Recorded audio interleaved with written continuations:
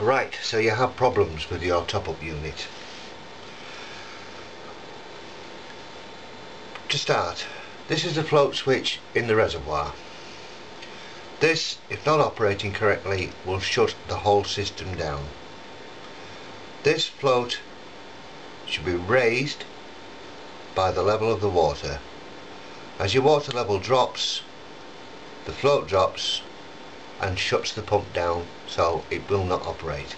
So this is the prime check to do before anything else. This should be raised at the top to make any of the circuit flow through the rest of the float switches. Make sure this is operating first. If this isn't operating the whole top-up unit will not work. Next. Now onto this I have a light to substitute for the pump. This is to make sure you can see exactly what I'm doing. Right, the connector, float switch, take it out of the aquarium, put it on one side. This is the wire coming up to connect to the float switch. This plug may be red or black, either. Right, now we have a very low voltage here. Make sure everything is plugged in. Your reservoir is full of water and the level is above the float switch in the reservoir. Here we have about 12 volts going through it, no more, perfectly safe, there's 12 volts going through this, you can handle it, you will not get a shock, there's no risk whatsoever. I'm going to take a screwdriver and I'm going to short this pin out against the casing. Right, now the lights come on, that's simulating the pump. That shows everything is working from the top up unit up to this point. Take the screwdriver off, switches off the pump. Short that out and the pump works. Doesn't need to be a screwdriver, piece of wire, same thing. If I can get hold of it, short that out, pump will work. Once again, I emphasise there's no risk here whatsoever. You cannot get a shock. And this test shows that everything up to this point is working. Now we'll take the float switch. Double unit that we have here with the safety float on. Out of the aquarium, do this out so it's separately. In this case, bring both floats down, put it the right way up, both floats down to the minimum, water levels low. I'm going to connect up this switch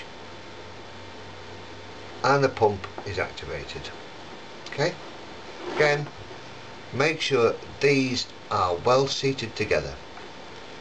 If they aren't, it won't work, period fractionally apart like that still won't work well pushed together it's a firm joint it can't come apart of its own accord so you've no worries there float switch as you can see this is what should happen in your hand out of the aquarium both float switches down like that and the pump should be on uh, don't leave it to run like this if it's dry, but you can see what's happening obviously. This is why I've used a light. So, this is the main float switch that activates the top-up unit. As the water level rises, it will switch off the pump. This one, the second float switch, is serving no purpose whatsoever at this point because this one is doing the job. Once again, water level drops, pump switches on, water rises, pump switches off. And it will cycle this every time the water level drops or evaporates, pump water in, stop pumping. the second switch is your safety switch. In the unlikely event that this switch should fail, just tilt that a bit. Right. In the unlikely event this switch should fail and jam on, which is highly unlikely, what could happen is the likes of a snail or something similar could jam in here and jam this float switch. Now what would then happen is the top-up unit would keep on running and overfill your aquarium up to the point of where your top-up unit emptied and then the float switch in the reservoir would stop it. But we're going to work on the basis that this is jammed physically. So, as you can see, both switches are at about the same level. Water level will continue to rise. This float can't move because it's jammed or failed. So this one comes into effect and starts to rise. It has now taken over the job of the prime flow switch and will cut out the pump. At this point this one takes over as you can see from the prime one. Now you can continue to operate on this state of affairs although I don't recommend it because it means your safety advantage of this float switch is no longer effective. You're operating on only the one float switch. So if this is the case then this one wants replacing or get rid of the snail or whatever else. So once again your water level from here would be about there somewhere approximately in this case as you can see. So your water level drops. This one's right down any road. Water level drops switches on the pump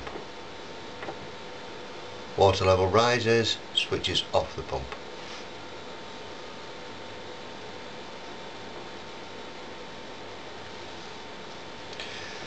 One other little precaution, while I have it in my mind, is that you've got no power going to the whole unit.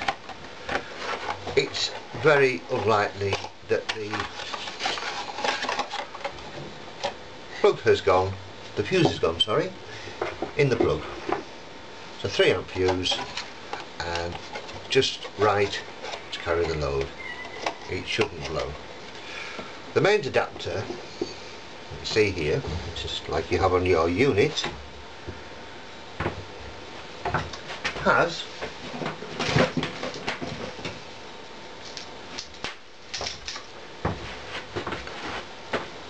this attached lead with it. One other little point, because I have had this myself, and it's not at first obvious. Is the figure of eight plug that you see here has to be seated. That is not connected it appears to be. It needs pushing right in firmly. Failure to do that will lose all the power that feeds the top-up unit so check that first that that is right in and that's about all that can go wrong with it. If you have any problems you can always contact me Gordon Lowe G-O-R-D-O-N L-O-W-E at reefloat R-E-E-F-L-O-A-T dot com and I'll get straight back to you if this float switch here fails for any reason I will replace it. It's no worries. Just let me know. Uh, they are reliable. Um, I haven't had any problems with them. There's always a first time. Thank you